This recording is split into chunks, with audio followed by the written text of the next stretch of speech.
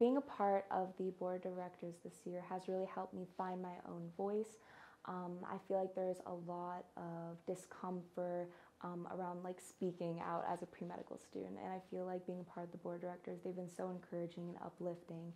and uh, they really helped me feel more confident in the path that I want to pursue.